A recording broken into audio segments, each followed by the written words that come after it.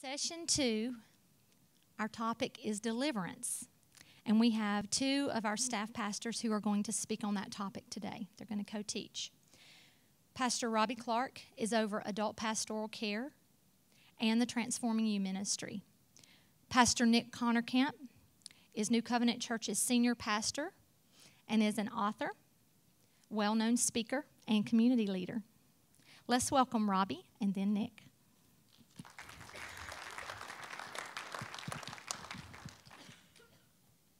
Good morning. Aaron, that was great teaching. You know, I've used prayer and de- declaration going into the TU room, but I've never thought about the worship aspect. And that that is that's amazing. I'm going to use that from now on. That's very good. so, if let's just take a moment and pray for just a minute, okay? Lord, we need clarity and understanding on this subject of deliverance that sometimes is shrouded with a little bit of mystery and is easily misunderstood. And so I'm asking for that understanding and clarity. And I'm also asking that once you give us that, that you'll also give us the courage to tell the enemy to leave. And we ask these things in Jesus' name. Amen. now, personally, personally, I don't prefer the word deliverance. I mean, when I hear the word deliverance, I think of that creepy movie with the with the banjo music in the background. I mean, you know, that just that's what it makes me think of. And and the other thing is it makes me think of something happening to me as if I have no part to play. Like I'm just helpless and here I am, I'm waiting on somebody to deliver me. When really is a partnership with the Lord and in fact, he will tell you initiate your own deliverance. Okay, so that word, I don't think captures the essence of what we're talking about. In fact, it may be better the word eviction. Okay, so if if you, if you've ever rented from somebody, signed a rental agreement, a lease agreement, I'll pay you this much money for these many days or this many months, and if you didn't pay them, then now you're illegally in their home. Okay? So what do they do? They the landlord starts the legal process to evict you because you're not supposed to be there. In the same way, Satan and the demonic realm sometimes has access to our life they should not have. And to evict them is what we need to learn to do. But it, it get it gets a little murky. If you've ever watched The Exorcist, you're like, you know, I don't want any part of deliverance. But that's not exactly what we're doing here. In fact, it's polar opposite. Uh, deliverance is very simple. Once you take the proper steps, deliverance is Satan has nowhere to go. He has to obey. Okay? So I'm a visual person, and I understand things in, uh, if I get it in my mind, I can understand it. So this may help you. So let me give you this example right here. This is a subdivision. This is a lot. This is a lot. This is a lot. There are lots going on down the road. This is the, the road through the subdivision. Let's just say, for instance, I own this piece of property right here. Okay? One acre lot. I, the deed is in my name. I've paid for it. At the courthouse, it is recorded. I own it. Okay? However, back here, there's a green space behind, behind these properties where the kids have a little park and they play. They have a playground back there. There's a power pole with a light back here. Okay? The power company needs access because there's no road to get to this park where the kids play. The power company needs access to get back there to maintain that power pole and maintain that light, change the light bulbs, things like that. So, what they do is they make an agreement, a legal agreement called an easement and they may say, We need 15 feet of your property so we can come and go to get back there so we can maintain this pole. Now, the deal is, if I give them that if I give them that legal access, they can come and go at any time they want to. If they decide to come on Christmas Day, they can come on Christmas Day. If they need to come at three o'clock in the morning, they can come at three o'clock in the morning. The power company does not own this property. They only have legal access because I've given it to them. In church language, that legal access is called an open door. Okay? Now, 10 years from now, if you decide, I'm tired of the power company rutting up my property, I can't get grass to grow, I want it to be done. You have to make a different legal agreement that supersedes the first legal agreement. That's called closing the door. Does that make sense? Can you see what I'm saying here? The problem is this, though.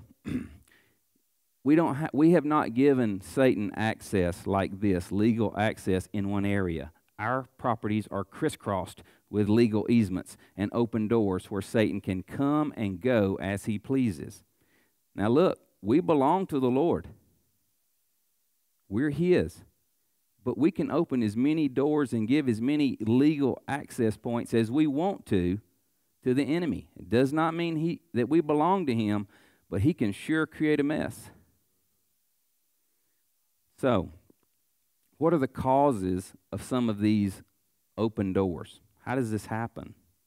Because most people don't even know they have open doors, they don't even understand this. uh, the first one I would say would be willful sin. This is not, oops, I messed up. This is, I know this is wrong. I know this is going to hurt the heart of God. I'm going to do it anyway. I'm going to step across that line and do it anyway.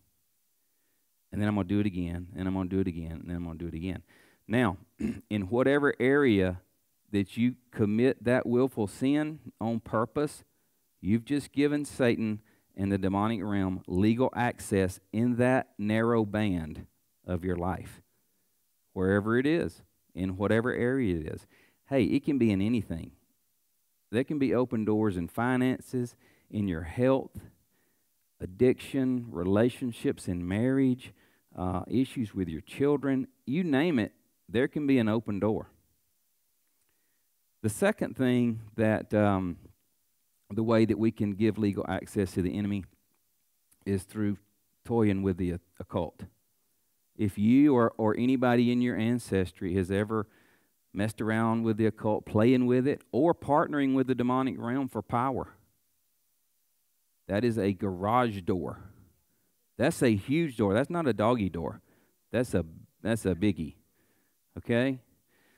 And the third way is uh, past generational sins or generational curses. The problem with this is most of these kind of open doors were there the, before we were born, so they're normal for us. We can't even, we don't even know, know that it's an open door because it's been there our whole life. That's where TU ministry is very helpful. You've got three people and the Holy Spirit sitting there saying, hmm, this looks odd. This looks like an open door to me. And you're like, what? That, I've, that's, been, that's been that way my whole life. What do you mean? um, if you had a grandfather who was an alcoholic, then there's going to be a tendency in your life for addiction. You're going to have an open door there, and open, if you don't uh, close the door, what happens? It stays open. It stays open. now, I have seen I have seen this where a grandfather's been alcoholic and the grandson says, "I'm not touching a drop." I have seen what alcohol does. I've seen the damage. But the problem is they got three other addictions, not alcohol. It's he came in the same door. It's the same spirit of addiction. It's just in a different area, and they think they got it together because they've avoided alcohol. If there's um, adultery, divorce, unfaithfulness in your family, then you probably have an open door, and relationships are may be difficult. You may have some trust issues. You may have faithfulness issues. You may have your own divorce and issues like that. And until that door's closed, guess what? Your children are going to have it too. if you if if you grew up in a family that was very generous, that um, they're very giving, they uh, served at the homeless shelter, they're generous with their time, generous with their money, uh, they they paid their tithes at church, and uh, just generous people, you probably are going to have a, a are going to be on solid financial footing because there's no open door for the enemy to come and go. On the other hand, if you grew up in a family where it's tight fisted and greedy and stingy, and I've got to hold on to this because I've got to provide for myself, or even worse, if if your if your people were Christians and didn't tithe, I'm telling you, you there's a curse there, and there's an open door for the enemy to come and go. And I can almost guarantee you that the enemy has created havoc with your finances, and you can't out earn that open door. You can't, you can't get a good enough education or a good enough job to make enough money that it doesn't run right through your pockets. You can't do it. But there can be open doors in any area of your life. The thing is, how do you recognize them? How do you figure it out? Well, number one, you ask the Lord. Because sometimes He'll say, Look, son, that right there, you need to address that. That's an open door. Sometimes your wife tells you.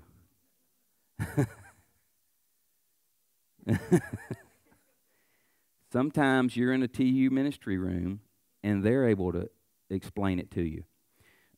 and sometimes you look at the pattern in your life and you and all you've got to do is say, "Look at this. I've got six failures in a row in this one area." There's an open door there. If you see something that's repetitive in your life or repetitive in your family, a cycle, you've got an open door. And it won't close by itself. You have to take the initiative. That's why I don't like the word deliverance. It's eviction. So Pastor Nick is he's actually going to talk about how to do it, but I want to tell you how not to do it. Okay? Now, I was a leader over men's ministry at our last church for years and years and years, and I would have this conversation often. A guy would come to me and he would say, I need you to be my accountability partner. I'm like, okay, what happened? And he'd say, well, wife caught me with pornography. She's either going to kill me or leave me. So I'm trying to figure out what to do. So then he would usually sit down and say, you know what, I think I'm going to get one of those computer watchdog things where it will, if I go onto a, a site I'm not supposed to, it'll, it'll alert my wife. And I can give her my passwords. And uh, I, can, I can get an accountability person. And I can study.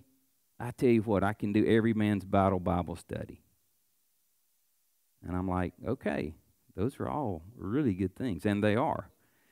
But if this guy doesn't go backwards to the root of it and close the door, all this other stuff he's trying to do in the natural up here will fail every single time.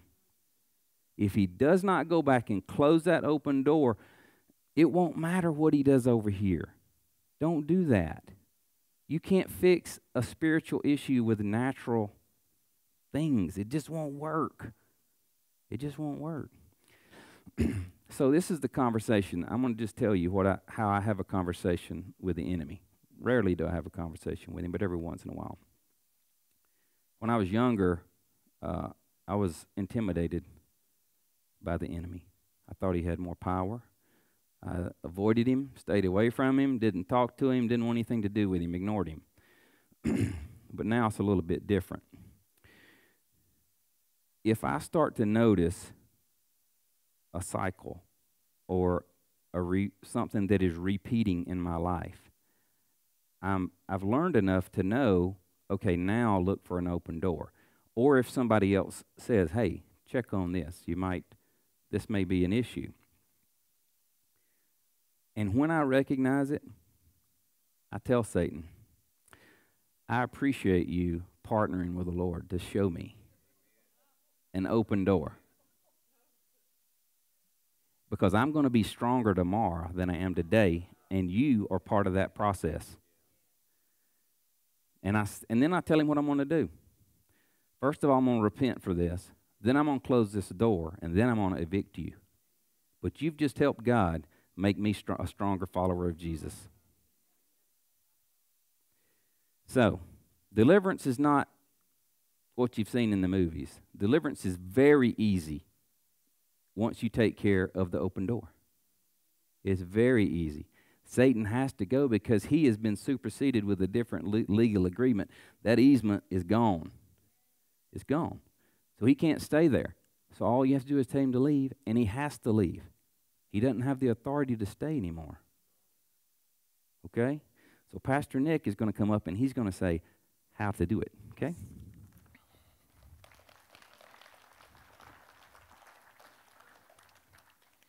Let me piggyback off of what Robby was just saying right there. We'll erase that line before I get back down because I don't like to leave lines up there like that. But let's let, let me just piggyback off what he talks about of, of how deliverance begins in that session, but how also to recognize it. And I think that Aaron hit something very important that we live in a seen world and an unseen world. I think when Frank Peretti wrote his book, This Present Darkness, it brought an awareness to the general church that there is demonic presences, angelic presences, that there's an eternal that existed before the temporal and will outlast the temporal, and that even the unseen has more people, more beings, more stuff than what we see in the temporal realm. And yet, most people, when they come in for inner healing, they're coming in for the soul realm mind, will, and emotions. There's some baggage, something internally that's causing them pains or wounds, and it's usually in the soul realm that they're coming for inner healing. But we're made up of body, soul, and spirit, and so we have to recognize that God wants to bring healing to all of those areas. So, how do you recognize, or where does demonic influence come into our lives? I believe unbelievers can be demon possessed but I believe that Christians, godly Christians, can be demon oppressed. That they can leave that door open, as Pastor Robby talked about, for demonic influence to come and have access. He used a word here. He says, We make an agreement for an easement through our property. The first place that the devil has access to our life, he said sin or willful ongoing disobedience, sin what I call sin is when I, when I purposely come into agreement with the devil. Now, there are two places, though, that I see where we come into personal agreement with the devil. One is through sin, the other is believing a lie through a hurt, wound, or something that's happened to us it is possible for us to willfully say, I'm going to participate in that sin, come into agreement with the devil, and therefore receive the fruit of that agreement. But it's just as prevalent for us to be violated, abused, neglected, rejected, wounded, and in that vulnerable moment, believe the lie the enemy says about us because of the event and come into agreement with the devil, and both of those will produce the same fruit. And so we have to be careful just because I didn't choose to be violated. But if you listen to the voice of the enemy that I deserve to be violated, it will produce the fruit as if you came into agreement through sin. Okay, first level is sin or woundedness, agreement. We'll call it agreement. From there comes curse. That once the Bible says that if we obey the Lord, we receive a blessing. If we disobey the Lord, we receive a curse. When you come into agreement with the devil, the natural first result is a curse. The devil begins to then the, the wind is against you. It doesn't mean that you can never overcome it the rest of your life, but the wind begins to shift and begins to blow against you. Life becomes more difficult. You begin not walking in life and life more abundantly, which is, comes from agreement with the Lord. You become walking with death and things eroding and breaking down and being worse and worse in our life. So the first level the devil has is agreement through sin or woundedness. Then he comes up to curses, and curses begin to operate in our lives. And if those curses operate long enough, they begin to form a rut. They begin to wear away at our life. They create a path. The third level is they begin to, to build a stronghold in our life. How do you know if you're dealing with a stronghold in a ministry session? You will see something as clear as day. You will speak directly to that thing, and it will bounce off and deflect in another area. They can't even see it. It's like they've built a castle with a moat and a drawbridge, and unless you have permission to come through that narrow drawbridge, they can't see it. You can see it as clearly as day, presented on a straight path, but it deflects off somewhere else. You're like, uh oh, there's a stronghold there. they've been rejected so many times that they can't even hear the truth right now because the enemy has fortified that stronghold in their life. From that place of stronghold, the next level that we come up to is we begin to start seeing sickness in the body and the soul realm because there's a sickness in the spirit realm, it begins to manifest itself through sickness in the soul realm and sickness in the natural body realm. It's one of the surest ways you can tell if there's a, a door open, cycles, ongoing curses, is that it begins to tear at the very fabric of our being something happens in your spirit realm, it will not say in your spirit realm. It will trickle down to your soul realm and it will trickle down to your physical realm. And that's why when you see someone that's dealing with a health issue, sometimes you can trace that all the way back to a spirit of bitterness that came in their spirit realm, that's wore out their soul realm, is now expressing itself to the natural realm.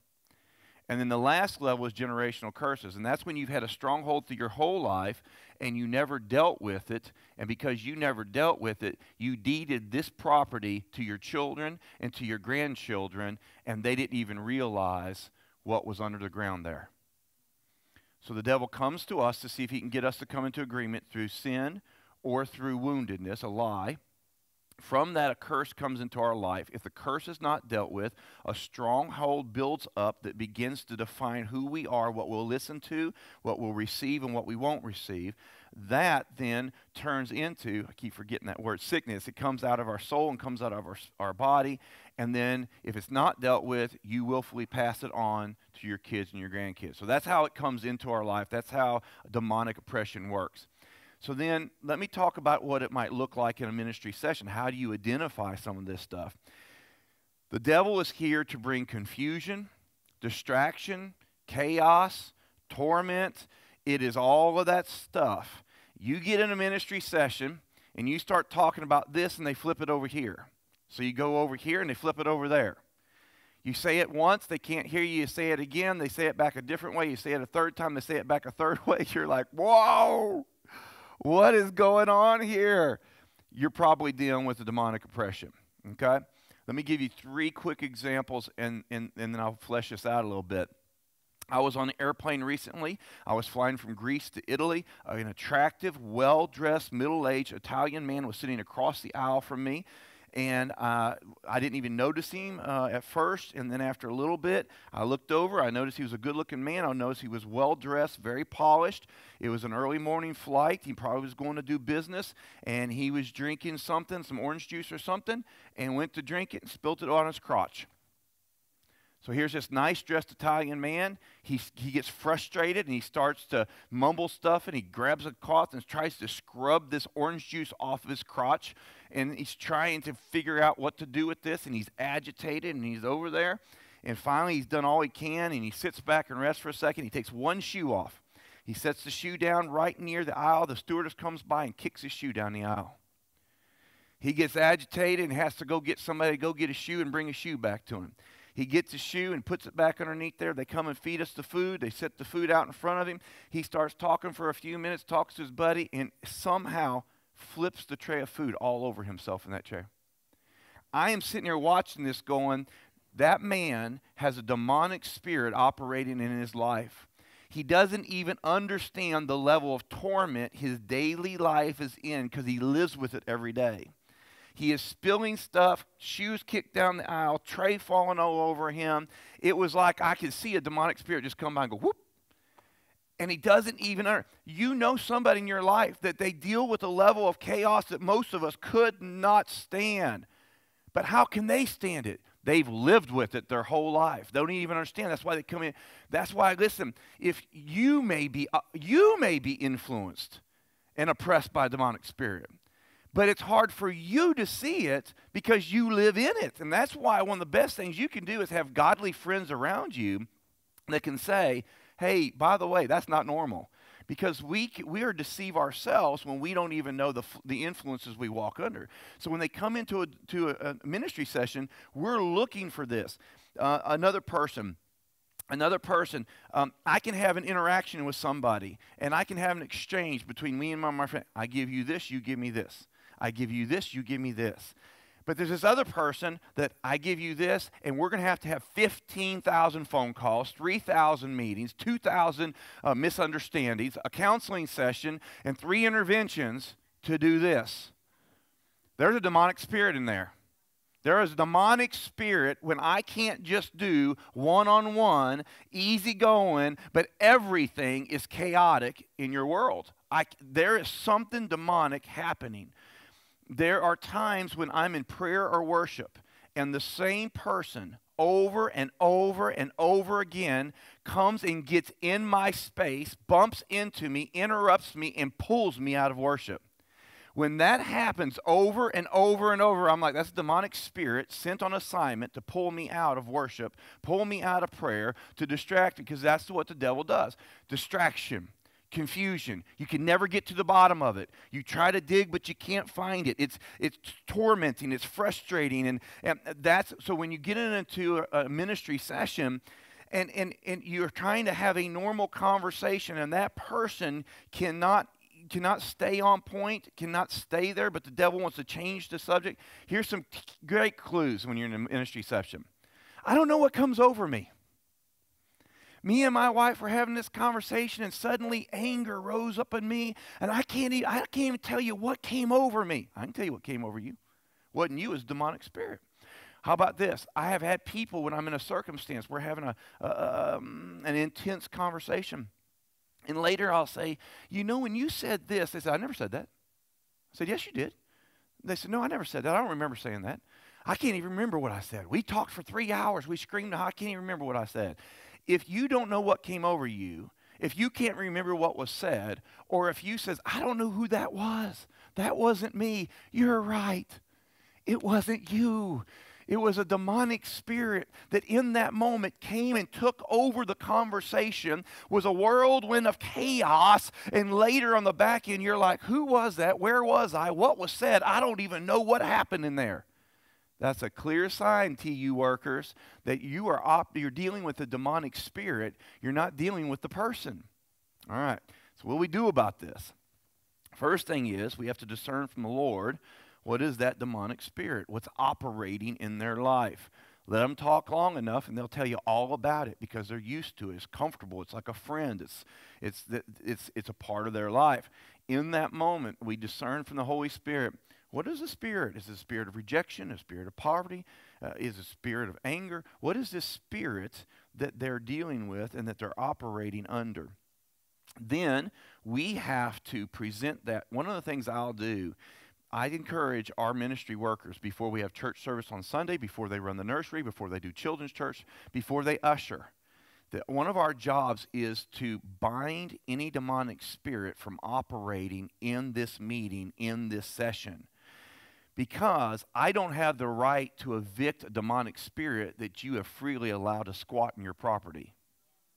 I do have the right to bind that spirit from operating and bringing chaos and confusion in my meeting.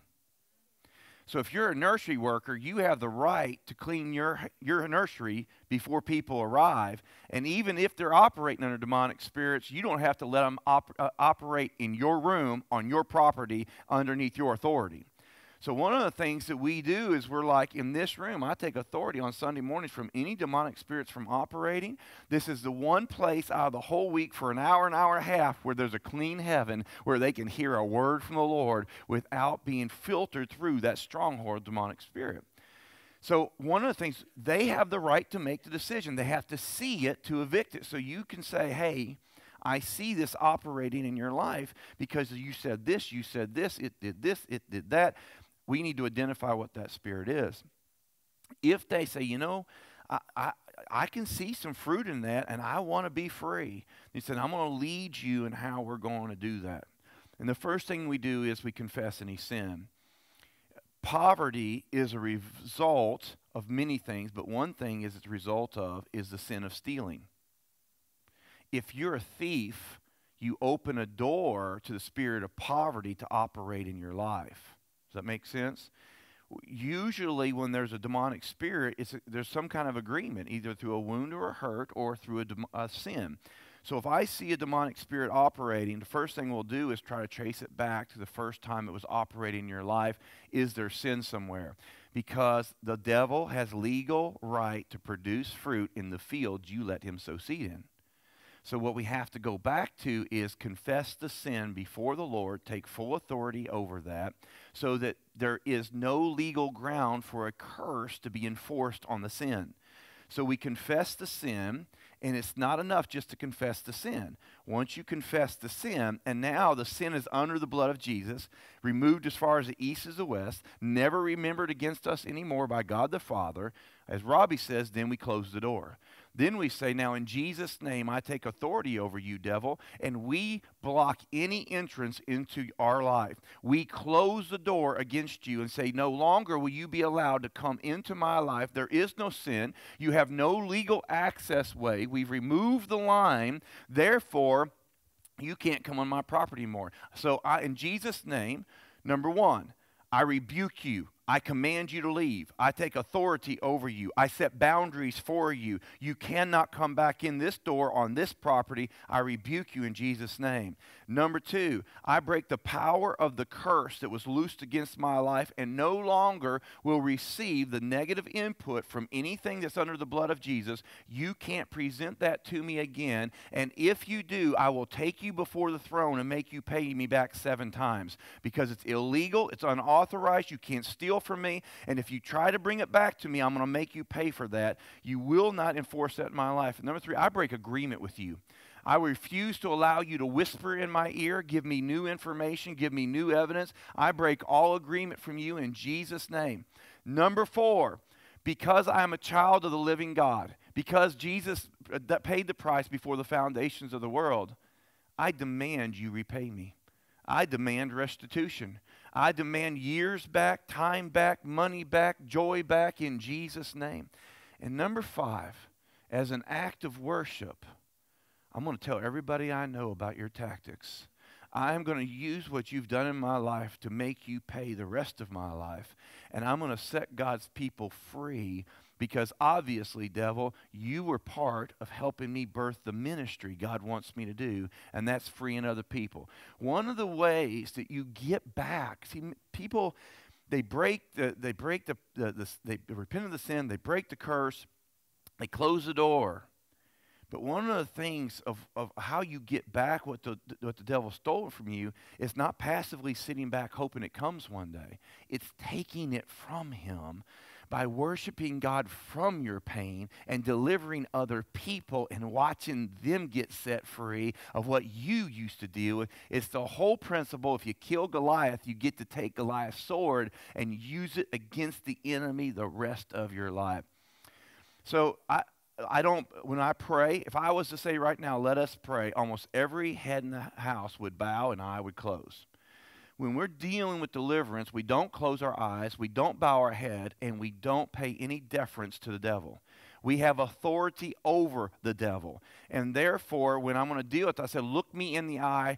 In Jesus' name, I repent of the sin of lust, repent of the sin of, of rejection, the sin of stealing, the sin of holding unforgiveness. I repent of that in Jesus' name, and I accept the blood of Jesus for that. Now, in Jesus' name, I break the curse that was loosed against my life. And I close any entrance points, any portals, any open doors, and refuse, devil, to allow you to come into my life anymore. Right now, I demand you pay me back for what you've stolen from me. And I choose right now to worship God by exposing you to all the people I know that deal with this in it. I rebuke you, devil. I cast you out. I restrict you in Jesus' name in my life. Amen. That's a little bit about how that looks like in ministry session. If they don't see it, if they don't see that they're under the influence of a demonic spirit, then what you can do is in that session begin to pray for them that God would expose that spirit to them and make it true so that they can see with their own eyes that that's operating in them. You can restrict it while you're in the session, even before the session. If they don't accept it and won't participate, the least, then at least we were able to give them something to chew on, allow them to see some information, and maybe the next time or the next time that spirit shows up, now they're ready for some deliverance. Amen? Thank you.